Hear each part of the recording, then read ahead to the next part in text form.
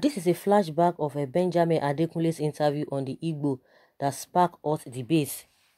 The journalist Randolph Bowman interviewed Benjamin Adekunle, head of the 3rd Marine Commando on federal side in Iguacha during the Nigeria-Biafra War for Stern magazine and the interview was published on August 18, 1968, when Uzo Maxim Uzoatu put it on social media.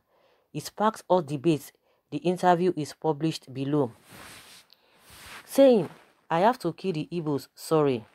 Stern reporter Randolph Bowman spoke with General, the general of the Nigerian front troops. If you want to get to know the devil of Africa, just ask for Adekunle.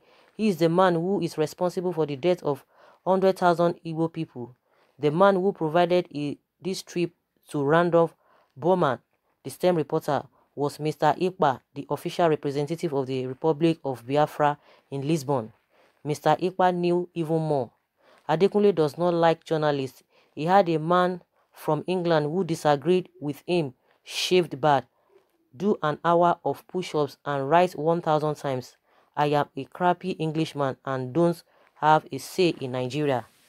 Having been thus forewarned, forewarned the Stern reporter flew to Port Harcourt, a big Biafra harbor city in the midst of a swamp and in the oil field of the Niger Delta, and requested an interview from the devil, Benjamin Adekunle.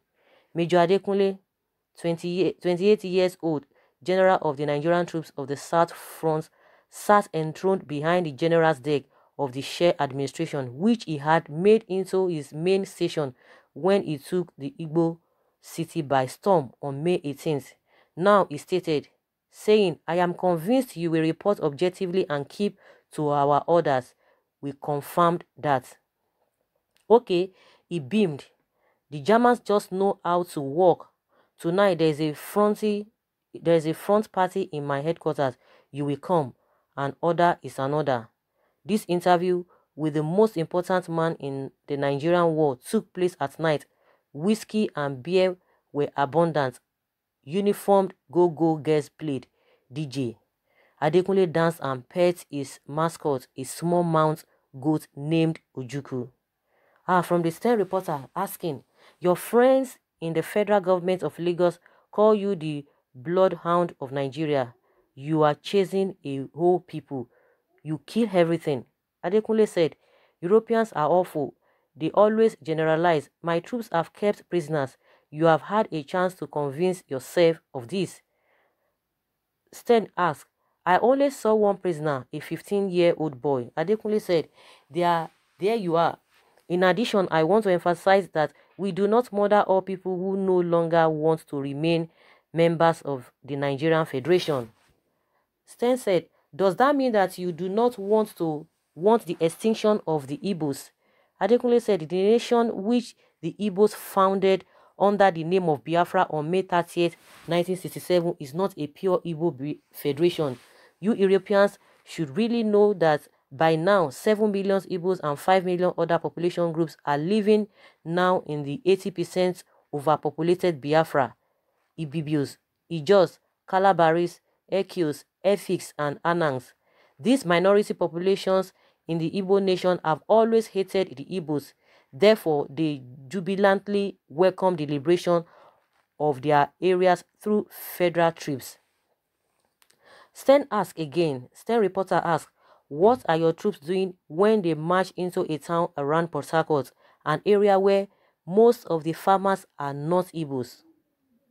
Adekunle said, we aim at everything that moves. Small children tend not to stay put for very long from the Stern uh, reporter asked. Adekunle answered, I know, I have to myself. Stern, what will your trip, troops do when you get to the Igbo heartland, that is, to the place populated by Igbos only? Adekunle said, there, there we will aim at everything, even if it is not moving. Wow. Are you racist? Adekunle said, you should know exactly where racists are. There is no such thing as racism in Nigeria. But why are you refusing to discuss this war with a European? Adekunle says, let me tell you something. When the Russians surrounded Stalingrad, did you request a land corridor from them so as to better feed your soldiers who were stuck in the port there.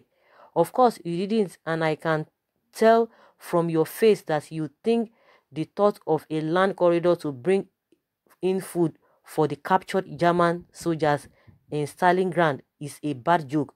Me too, where and when was where a war in which the loser was re-nourished one more time before the final loss. Why are you just calling for a land corridor for Biafra? Why aren't you calling for a land corridor for the Viet Cong? I have to declare, you Europeans are simply not competent. Stern asked again, what is happening in the European humanitarian assistance programs which were authorized through your government? Adekunle said, in the section of the front that I rule, and that is the whole south from Lagos to the border of Cameroon, I do not want to see the Red Cross, Caritas Aid, World Church Delegation, Pope, Missionary, or UN Delegation. Stern asked, does that mean that the many thousands of tons of food that are stored in Lagos will never get to the refugee camps in your section of the country? Adekunle said, you are a sharp one, my friend. That's exactly what I am saying. Stern said, but you said yourself that most of the refugees in the parts of in the parts you captured are not Igbos. Adekunle said, but there could be Igbos among them. I want to avoid feeding a single Igbo as long as these old people have not given up yet. Wow. Stern said, do you sometimes feel sympathy for the Igbos? Adekunle said, I have learned a word from the British, which is sorry. That is how I want to respond to your question. I did not want this war, but I want to win this war. Therefore, I have to kill the evils. Sorry, the end. Wow. So guys, uh, this uh, uh, this was what happened uh, during the Civil War, and I'm sure this article was the band that was positioned for that uh, mission, and you could see the way he was answering the question, and no wonder it was called the Black Scorpion, and a lot of people are really reacting to that, you know. And sorry, excuse me. Someone says Adekunle will be regretting in heaven now, knowing fully where the war he fought for is still not ended yet. What an irony. The war is, is even more pronounced in the north, more now than the south. Can't the north and south be a separate countries with military and economic ties like NATO and UN now that there is discovery of oil in the north? Someone says, do not talk about reconciliation as long as the reasons for the war is still here. Someone said he is full of evil and God rewarded him with evil. This man Adekunle died a madman in a dilapidated house at Adelabu Surulere. His judgment started here on earth. That's what somebody is saying. Uh, 1967 was a joke to compare what is to come in as in as much what brought the war are still in existence. The truth must not be overemphasized. As Sam Amadi said in response, Frank Alim, you can only get past something that you have fully comprehend. The Nigerian Civil War story must uh, be told to all.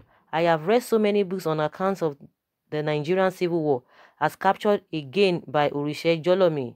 Isebo, he likened the accounts by various authors to an entertaining masquerade. You enjoyed uh, the gyrations from a vintage position. I recommend an account on the Civil War written by Nelson Ottah, Rebels Against Rebels, former editor of Drum magazine on the stable of Daily Times. Someone said, why is nobody talking about people Biafras killed?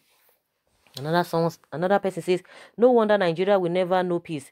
It is unbelievable this kind uh, of things happen this kind of happenings can never take place in this universe. Worse than Holocaust, worse than anything that that's ever happened in memorable history, worse than Lucifer. If it is possible, let the publication of this war stuff stop. Even me and so many youths who are not born during the war, we always feel like revenging after reading the history. Imagine I just feel like weeping everything that has life in Adekunle village or wiping everything that has life in Adekunle's uh, village, both three. Hmm. So is heart of man youth. Those who are saying there will not there will not be peace in Nigeria will live and die without the peace. Someone says, My father told me a lot of stories about this Adekunle. He was their commander in the South War against Nigeria and Biafra state. God help us Biafra out Nigeria without war this time around. And that's what somebody is saying. So guys, uh, you know, when all of these things are being said, when people are saying all of these things, you know, it's just be as if it's a say by moonlight and now people are just trying to form things all these things really happened you know when they talk about what happened you know during the uh, time of uh, that war that 1966 or 67 to 70 to 1970 you know people tend to like oh you know all those stories we used to hear in the bible and all of that these things really happened. And it's like we've not really learned from what really happened to uh, you know up to now because people you know it's like things are just getting worse day by day.